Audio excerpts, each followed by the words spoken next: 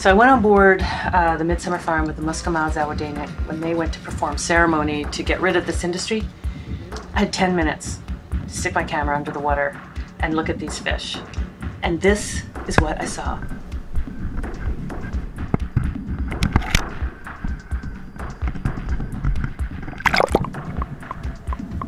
I was stunned. I saw a fish go by with a big tumor on his head.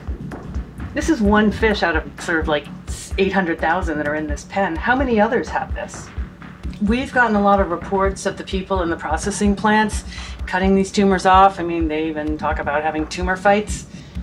Are they going to sell that for people to eat or is that dog food? I, I, yeah, I would worry about that. I was surprised at the number of fish that were behaving sickly. They were so sluggish, they were lying against the camera, lying against the side of the net. And um, one of the viruses I'm studying, Piscine virus, is associated with a disease called heart and skeletal muscle inflammation. It actually damages the salmon's heart so that they become so weak they can barely move. And in the scientific literature, it says that the fish line up uh, on the net with their faces towards the net. And that's what they were doing in every single pen.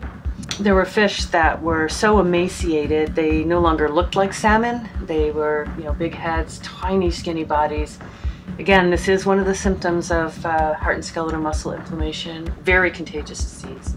That is classic HSMI. You see his head is bigger than the rest of his body. This is what the literature says a fish with heart and skeletal muscle inflammation looks like.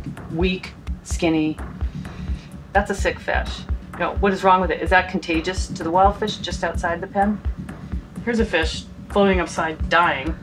I mean, you never see this in the wild. In the wild, this would be immediately eaten by a predator. So whatever he's dying of, that, that those viruses, bacteria are pouring out of that fish through the nets into the ocean, putting all our wild salmon at risk.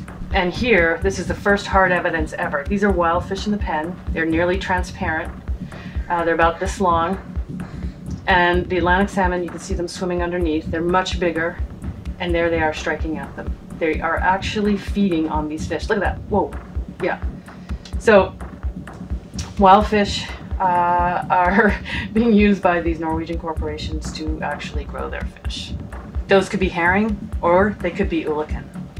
This is the first hard evidence after 30 years of people saying, oh, there's wild fish in the pens, accusing the industry of their fish feeding on these wild fish, which means um, they're growing their fish at the expense of the wild fisheries the industry was always like, no, no, you know, our fish only eat pellets. Well, clearly not because here are the fish eating these wild fish.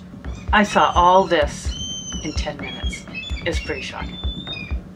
Imagine what is going on on the rest of this coast. There are a lot of sick fish. There's a lot of disease floating out of these pens, and there's a lot of wild fish that are clearly being eaten to the benefit of foreign shareholders while our own fishermen are being boarded by DFO for having a couple of extra wild fish on board. I'm not saying that's a good thing that they have bycatch on their boat, but what about this? You know, DFO is is completely willfully blind to this industry. And to me that really just smacks of corruption and fraud. Why why why isn't DFO checking this industry? Why are they allowed to eat wild fish? This is illegal bycatch. It's unregulated. Nobody's there counting these fish. Nobody saw what I saw. And I have no reason to believe this is not happening in every pen uh, along this coast. What we're looking at here is herring that are actually feeding on the feed that's coming out of the pens. So uh, the farmers spray pellets into the pens and some of it is crumbled in dust and it's flowing out of the pen. And you can see how the herring suddenly go in towards the net, um, they're eating that stuff. This, to, to me, from a biological point of view, is one of the most dangerous things I've seen on this whole trip because these fish are eating, first of all, unnatural food. I gotta wonder if their flesh is pink because, you know, the farm salmon pellets have a, a colorant in them. So when they medicate their feed to get rid of sea lice and, and they put the drugs in there, or whatever other drugs are in there, antibiotics, so that means those herring are eating it. So what if those herring do grow up and somebody's eating them? You know, that means the seals are eating them, the birds are eating them. They're being bathed in viruses that are coming out of this farm and sea lice and bacteria. But I mean, this is a place where the herring have been crashed and, and depressed for 30 years. Nobody's fishing them. The fish are still here, the beaches are still here, but they're unable to rebuild their numbers. And uh, when I see a dynamic like this, th- this is very serious. Yeah, very serious. This industry's way out of line. Um, and I think that people will be shocked at what will happen when this industry gets out of the water. I think there'll be a rebound in wild salmon and herring. It will stun people.